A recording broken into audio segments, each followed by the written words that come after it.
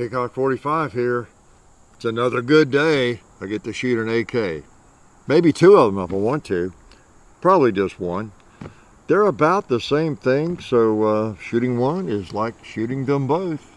Except one has a cute little attachment, right? Yeah, it's AK day. It's Chinese AK day. It's uh, AKS 762 day. That's what both of these are. Pre-band Chinese AKs, all right? And again, don't get a bad taste in your mouth, at least regarding the quality of these AKs. Uh, these are some of the best made. Who knew, you know, and, and uh, a lot of people did not until recent years, I guess. Or probably a lot of people knew back even in the 80s when they were coming into this country. It's just that, uh, you know, we have that, that idea, and sometimes legitimate, that anything made in, where's that place? China, is uh, junk. Because, you know, a lot of junk is made there. And uh, these were made, though, uh, with some quality control, apparently. Okay. So, you've not seen this spiker. This is my Polytech AKS 762 spiker. See that? That's a spiker bayonet. Okay. it's attached. It's like a Russian SKS. Well, or a, uh, a Type 56 uh, SKS from China. You know, they called the uh, their AK the Type. This is a Type 56, of course, and they called the S the SKS the same thing. So it was confusing. They both came along at the same time. So uh, 56, you know. And uh, so don't worry about names, right? It's a Type 56, so is that, you know. So, but anyway, uh, I have not had this and no, this is not the select fire. You know, many of you who really closely follow realize I have something like this that might be select fire. This one, and you'll see it before too long, okay? I didn't want to ignore this baby. Uh, I mean, this is what most of us have. It's what I've always had. It's just great rifles, believe it or not. And uh, they don't have to be select fire.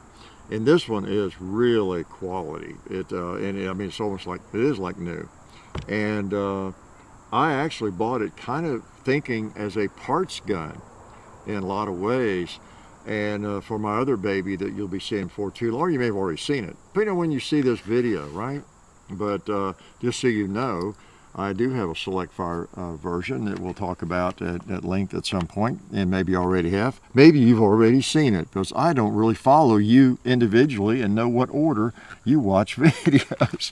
So, but this is uh, the Type 56, and it's semi-automatic.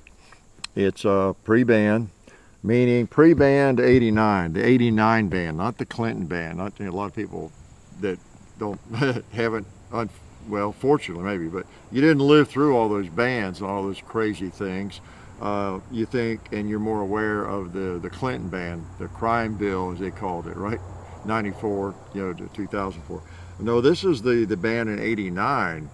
There was uh, a lot of people blame Bush and, you know, uh, the older Bush because it was during his administration and it's kind of typical of whoever the president is gets blamed for everything, right? And uh, I, to tell you the truth, I don't remember all the details of how that came. I do know what precipitated or what the uh, catalyst was, was the shooting in Stock, uh, Stockton, California.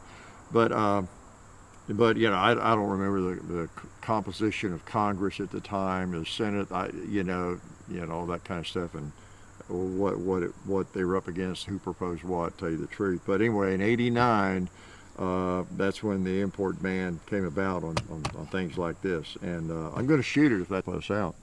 So do you mind if I shoot this? Will it still shoot with the uh, bayonet opened up like that? I don't know. You want to try it? Let's see if it does. What the heck? I, I've only fired this one. I don't know. I think I fired to make sure it works and uh, took a couple of shots to, to figure out the sights here just a minute ago and uh, they were too high. The rear sight was too high, so I have to hold about six o'clock with this baby. Let's uh, let's just load it. Take a couple shots. You want to see if it's sighted in for that two liter? Yeah, yeah. Well, how about that red square plate over there?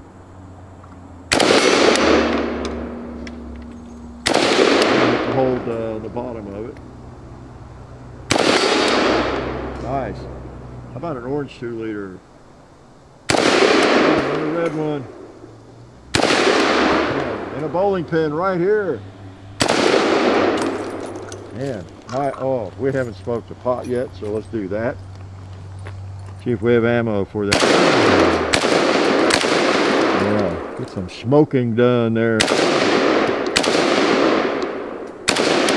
Don't you tell anybody I missed that two liter right there. Put a couple on this target. Mm, all right, feels good. About a swinging bowling pin. And another one.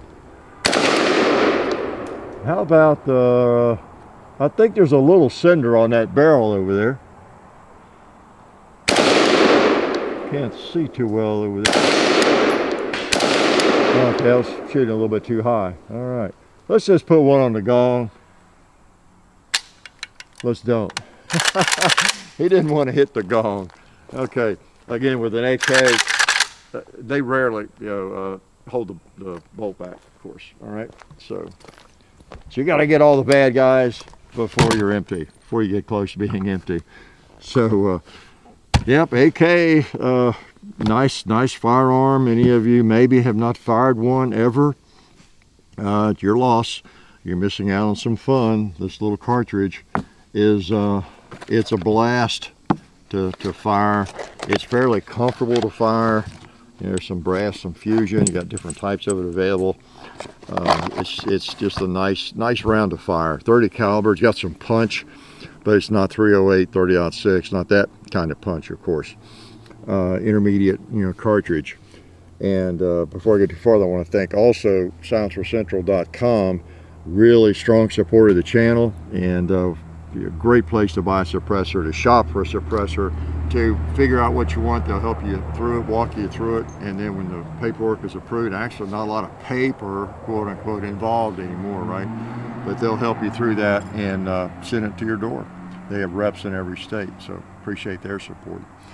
Uh, speaking of this ammo, and uh, I'm going to go into maybe some more things as we get our uh, the select fire version out like this, but I'll talk about a couple of things, shoot this a little bit. I wanted you to make you aware, because uh, these things in their own right, even though I have kind of a, you know, an upgraded version of this, uh, this this is quite a nice rifle. It really is. Uh, and uh, that ammo reminded me that uh, some of you can't relate maybe back in the 70s uh, when again advantage I have a little more uh, scope of perspective maybe. It, it's hard for you maybe to imagine but in the 70s I was collecting guns buying guns shooting going to the range all the time and shooting and uh, trading guns and everything. And no one of those days that I, I I'm pretty sure of well maybe not 100% sure could I have gone into a gun shop around Nashville area Middle Tennessee and just picked up some uh, 7.6 Super 39 a box of this uh, steel case, brass case. Or Not only that, I, I, didn't even see one of these rounds. I was always uh, interested in them because I'd heard about them, read about the round, but nobody had one. No gun shop, no body. Uh, nobody had an AK that I knew. They, they just weren't around back then I, at all almost. I think the, the Valmets came in early and then the Maadis later and then the, you know the Chinese in the 80s.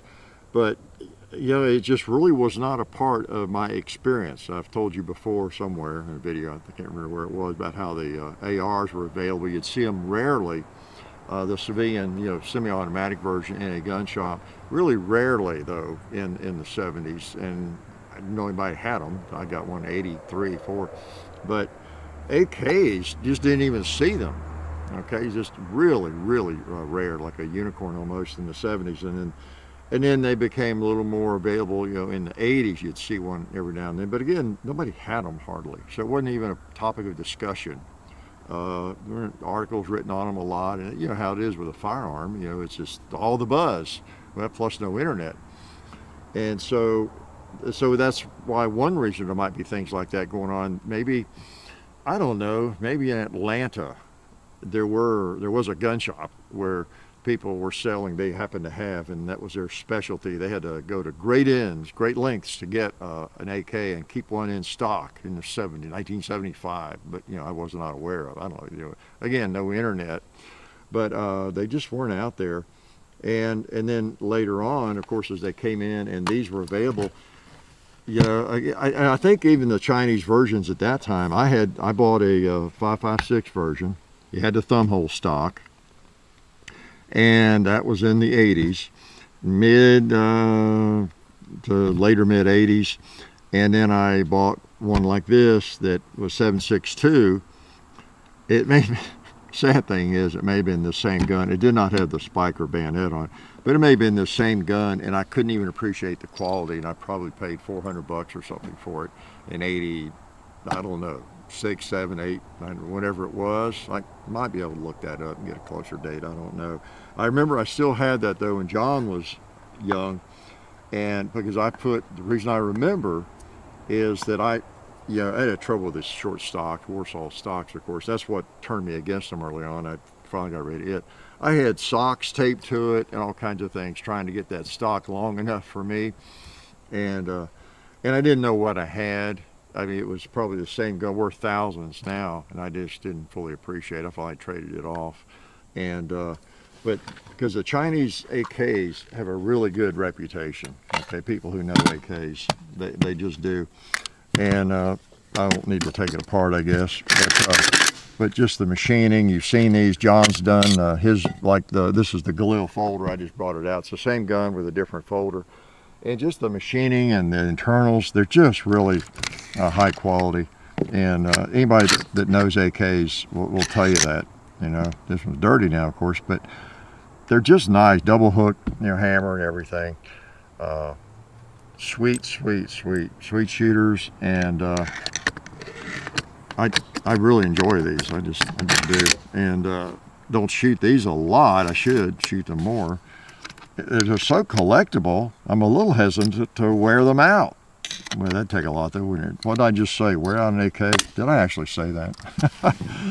but uh, let's shoot it. I'll yak a little more.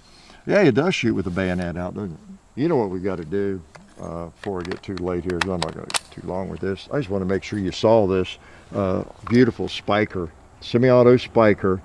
It's uh, you got safe and fire. Uh, you know, got the Chinese mag, uh, and this one's actually in, really, really uh, nice shape. And one advantage to this one over the other one, it's got a folding stock, but nah, this one's really uh, got the advantage because look what I can do. You could deer hunt with this thing, and you know, if you ran out of ammo, look what you could do. I'm gonna go ahead and put it in battery. Yeah, let's get ready because we don't know what's gonna happen here. We could do a stab. Uh, should I pull the trigger? Uh, I was going to. Maybe I shouldn't think about it and just do it. I'm going to put my head down, make sure I'm aimed correctly. okay. I didn't get too big a shower. Not too big a shower. All right, let's blow that stuff off of it.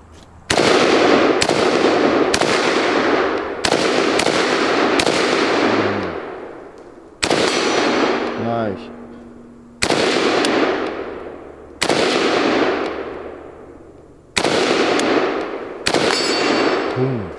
Feels good. Hey, burn barrel, you need a bullet. Oh, yeah. Safety on. And of course, uh, you may have seen John, these bump stock, uh, or bump stock, they uh, bump fire really, really easily. And uh, I'm not really into that, not good at it, but they, uh, they, they just, because they have such a nice trigger, very nice trigger they are, uh, again, this thing's all stock, but it's pre-banned and uh, has a Chinese trigger just like the other one. And it's it's as good as any trigger I've ever felt on an AK or better than most. Just really nice, light, crisp, got a clean break. Uh, they're both that way. Uh, so, and, and totally stock except for this. I put that on, of course. I wonder why. Yeah, I wonder why I wanted to add length to it. And again, because it is pre-banned, that's it's good and it's bad. It's why it's so expensive. These things are really high. Even though it's just semi-automatic, Uh, but you don't have to worry about being compliant with having a certain number of U.S. parts and all that sort of thing because they are literally pre-banned prior to that 89 ban and uh, they weren't cut up and shipped over like so many have been and done and even the arsenals and others and then someone over here has to put them back together whether it's a Romanian uh, AK or an Arsenal AK whatever it is and rebuild it. Uh, but to get it into the country it's got to you know be configured in a different way and and all that. And so none of that you know was done with this. This is original polytech just like that one. Made in the 80s at factory 386 i guess. Both of them were i think i think that's a indicates the factory 386 where it was made again polytech and Norinco they're basically just conglomerates uh, importers exporters or whatever uh, they themselves, as I understand, don't build the firearms. Uh, they work with the factories that, that do all that kind of thing. So uh, pretty cool. And the spiker, I'll go into more of that in the other oh, later video, but but uh, this may look familiar to you if you've seen Vietnam footage, or I got one better than that. It might look familiar to you if uh, somebody was shooting at you with one in Vietnam.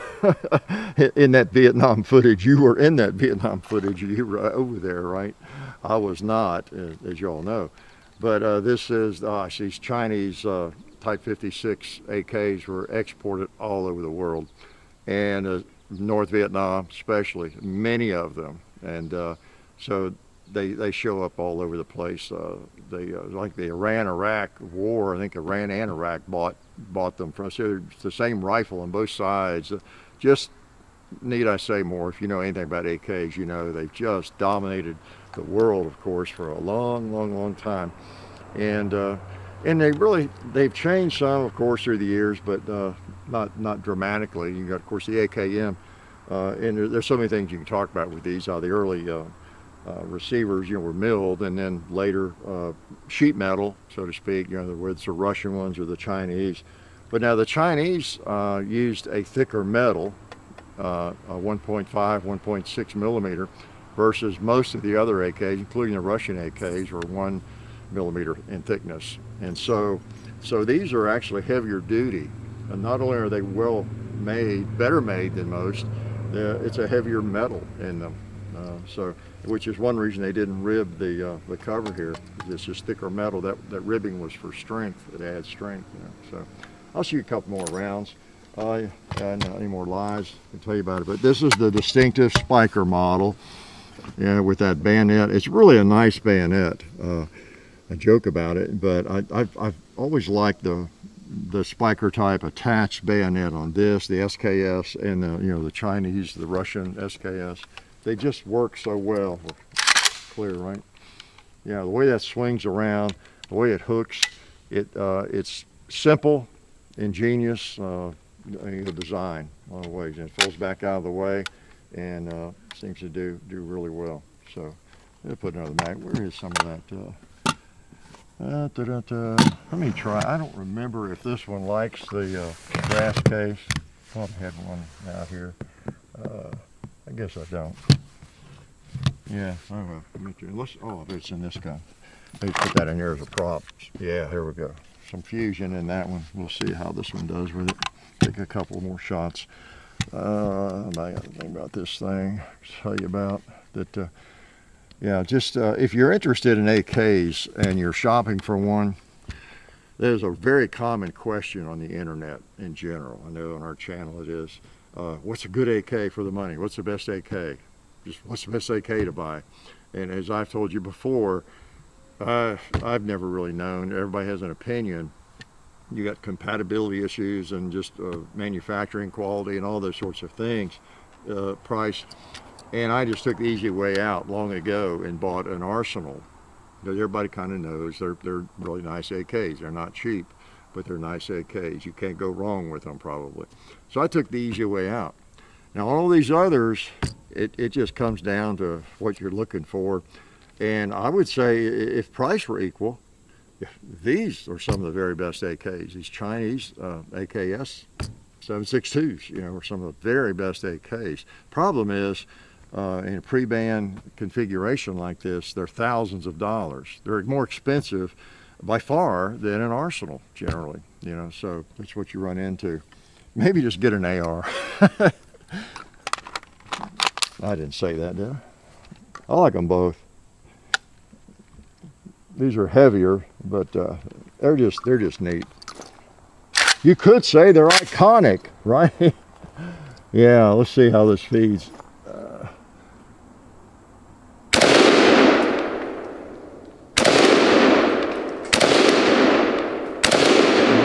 okay.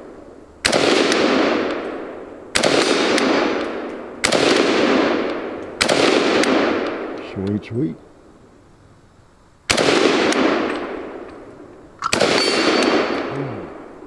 Nice. What else needs to be shot? How about that ammo can lid right there?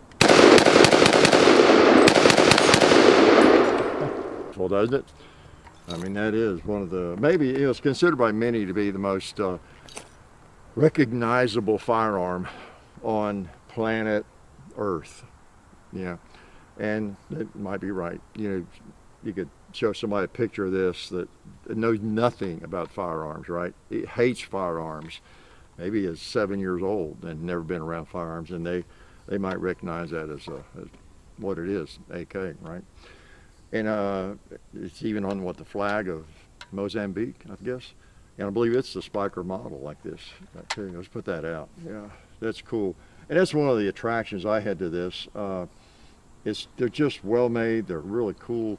They uh, the the Spiker is is a, a, you got an iconic uh, rifle to begin with, and that spiker model just just really adds to it. That bayonet, uh, it's a, quite a jewel. If I were going to war tomorrow, maybe I would take this. I don't know. I can't I can't guarantee that. But anyway, this is a Polytech AKS 762 pre-band. A lot of these were made in the 80s. I talked about it. John's talked about it. A lot of people have. Uh, and then, of course, when the bands came, you know, in, in 89, they put a halt to it. And it's a shame that, boy, it couldn't have gone for eight or 10 more years uh, importing these, these fine AKs. Because it's just as they're really coming into the country, uh, these high quality AKs, you know, got uh, the whammy put on them. And then there were so many restrictions after that. But, you know, there's still lots of AKs out there. Thankfully, because uh, I agree with Ice Cube. It's a no. He's just the opposite. I have an opposite, uh, uh, contrary philosophy. To me, it's a great day when you get to shoot an AK. They're wonderful. Life is good. Oh yeah, that's better. This is a great gun for defense. Oh hey, didn't see you guys there. Uh, while I've got you here, I want to remind you of our friends over at Talon Grips and Ballistol. Talon Grips makes uh, grips, can you believe it? Uh, for all different types of firearms. You can get rough texture or more of a rubberized texture. Uh, just sticks right on there. You know, really affordable, really cool option to improve the grip for your handguns um, or, or rifles. Uh, so please check them out at talongungrips.com. You'll be glad you did. And also Ballistol. Uh, Dad has been using Ballistol for many years. It's a cleaner and a lubricant, and it's non-toxic. Uh, it works really great, and we're happy to have them on board since it's been a part of our shooting endeavor for a very long time. So go to ballistol.com, talongungrips.com, and also while you're out there, I'm juggling all these things here. Also, uh, while you're on the internet, please do check out our other social media like Hickok45 on Facebook.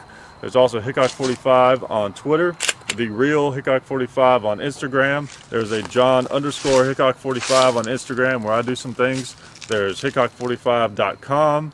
Uh, you can find us also on Gunstreamer. So check out all that stuff and then watch more videos.